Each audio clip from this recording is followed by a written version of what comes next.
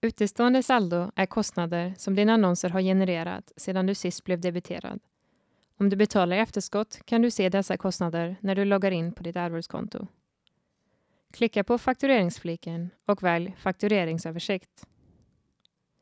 Scrolla ner på sidan och du kommer att se ditt utestående saldo som saldo i slutet av den aktuella månaden.